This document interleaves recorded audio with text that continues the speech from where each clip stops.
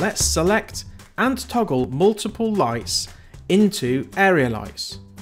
Okay, in the light list, let's select a light and then to select a range of lights, hold the shift key and press the bottommost light. Now all of these lights are selected.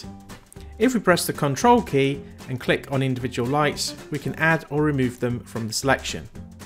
Okay, let's right click and select toggle area light. Nothing seems to have changed on the canvas, but don't be deceived. All of these lights now are 3D area lights. To show you, let's select a light, go to the Smart Dolly slider and drag it to be closer to the model. There, you can see that the light is actually a 3D light. I'm going to drag more lights closer to the model to show this.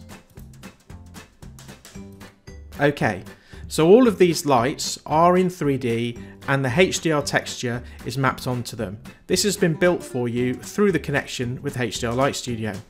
To put the lights back on the HDRI map, let's select all of the lights again using the shift key and then click on the bottommost to select them all, right click, toggle area light. Now all the lights are returned to the HDRI map and the area lights are deleted. A quick way to do this is to press the control key and spacebar.